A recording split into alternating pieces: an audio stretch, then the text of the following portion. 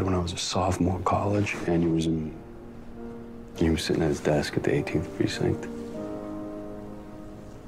That's why you became a cop. Yeah.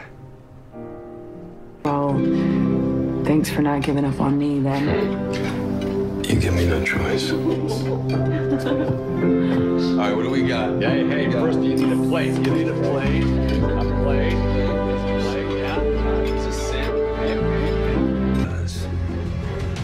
Yes. What were you wrong about? I was wrong about the fact that my dad's 30 minute power nap. Oh. I mean, you could always bring me in to consult on another case detective. We'll see. Gotta create a very specific. Right with a, a sense of confidence, color. Also, See? Sorry. You told me not that I recall, and yet. Could you please read him?